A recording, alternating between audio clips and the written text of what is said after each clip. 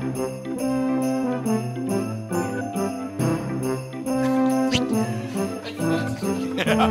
går hen. Jeg har startet i julekalender. Først se. Ej. Ej. Nej, der er palmer, og kæft, hvor er det flot, mand. Tak fordi I vil komme. Tak skal du have. Bertelsen får altid lige... Uh... Bare tag den ned, og så når du rejser dig op, tager den op.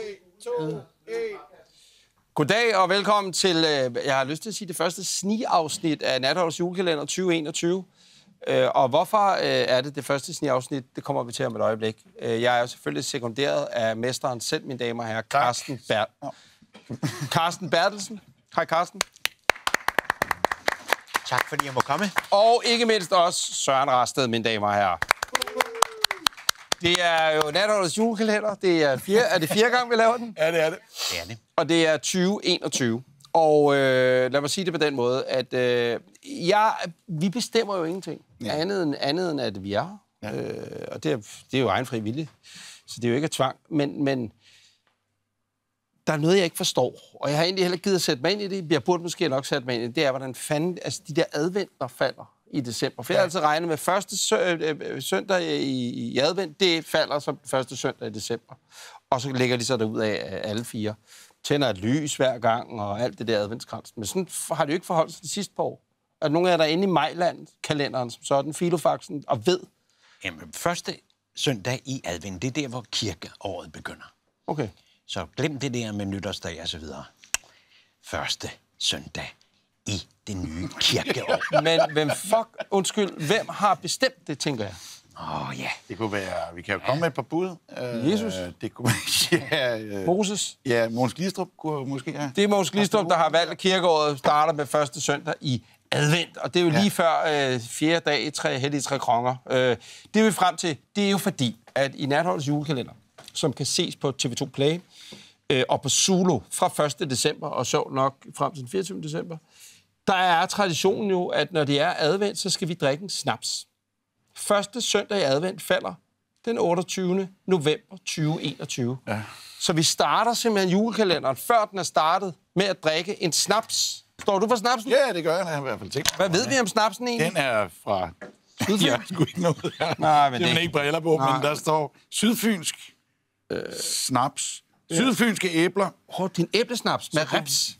Så den er nok fra... Så fint. Hvad siger du til den her, Carsten? Cheers. Danmark. Cheers. Jeg kan da godt lige sige, at øh, jeg har smagt op på psykofarmaka og paracetamol, så det her Må ikke, kan du også bliver frisk her den 1. december. Åh, det tror jeg nok. Indtil videre, den her er nummer et. Det er Det kan jeg godt sige. Hvor gode er tænder? Cheers, boys. Mine tænder? Ja, altså skal vi bide den over? Ja, det skal vi. Godt. Skål. Skål. Ui.